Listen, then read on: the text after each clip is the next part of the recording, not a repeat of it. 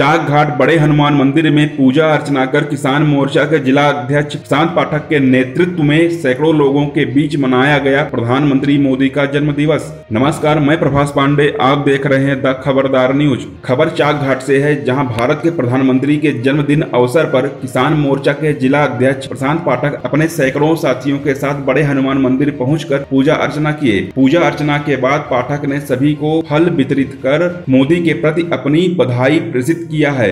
वहीं प्रशांत पाठक मीडिया से बात करते हुए प्रधानमंत्री मोदी की गिनाई कई उपलब्धियाँ। आइए आपको भी सुनाते हैं श्री पाठक की जुबानी।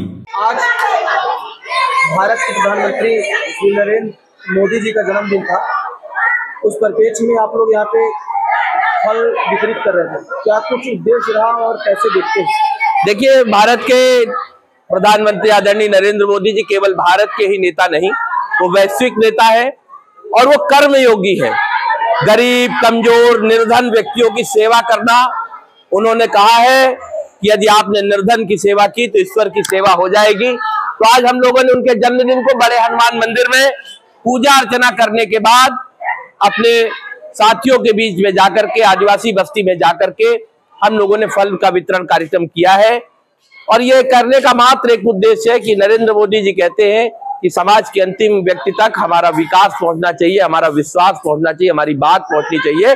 तो आज नरेंद्र मोदी जी के जन्मदिन पर ईश्वर को चढ़ा हुआ प्रसाद उन हाथों तक पहुँचाने का प्रयास किया। प्रधानमंत्री जी के जन्म दिवस पर आप अपने वक्तव्यों को किस प्रकार व्यक्त करना चाहेंगे? देखिए प्रधानमंत्री नरेंद्र मोदी जी के जन्मदिन को शब्दों में बांधना जरा कठिन है पर एक वैश्विक नेता भारत को राष्ट्रवाद की तरफ़ ले जाने वाले नेता भारत को विश्व गुरु की तरफ़ मज़बूत कदम बढ़ा देने वाले नेता और भारत की साख वैश्विक स्तर पर स्थापित कर देने वाले नेता।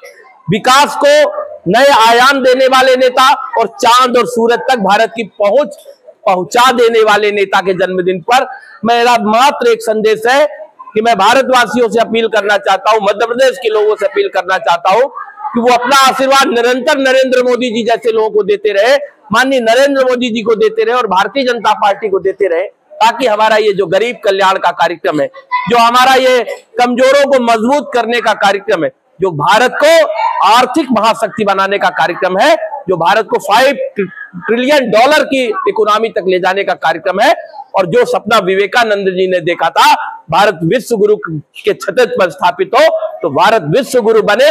इसको ले जाने के लिए मैं जनता जनार्दन से अपील करूँगा कि भारतीय जनता पार्टी और नरेंद्र मोदी जी को अपना आशीर्वाद देती है ऐसी खबरें जानने के लिए बने रहिए द खबरदार न्यूज़ के साथ। धन्यवाद।